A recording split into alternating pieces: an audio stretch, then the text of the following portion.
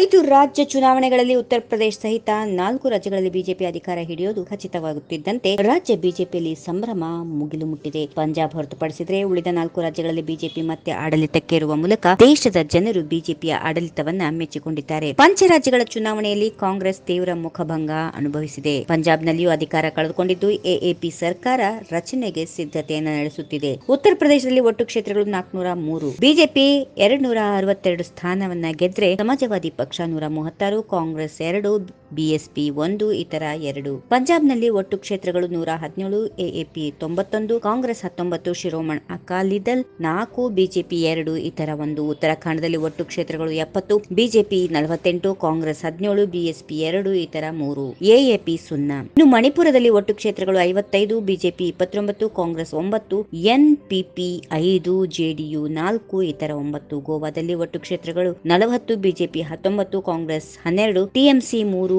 AAP ಮೂರು ಇತರ ಮೂರು. ಈ ವಿಡಿಯೋ ನಿಮಗೆ ಇಷ್ಟವಾದಲ್ಲಿ ಲೈಕ್ ಮಾಡಿ ಶೇರ್ ಮಾಡಿ ಸಬ್ಸ್ಕ್ರೈಬ್ ಮಾಡಿ.